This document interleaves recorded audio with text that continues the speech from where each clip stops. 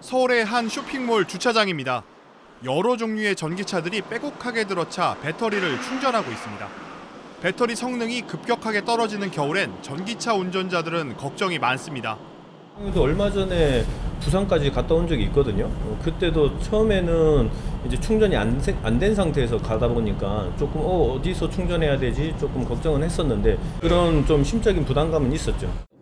전기차로 매일 장거리 외근을 다니는 직장인은 예기치 못한 순간에 배터리가 방전될까 노심초사입니다. 하루에도 최소 100에서 200km는 타는데 겨울에는 3일에 한 번, 이틀에 한 번 꼴?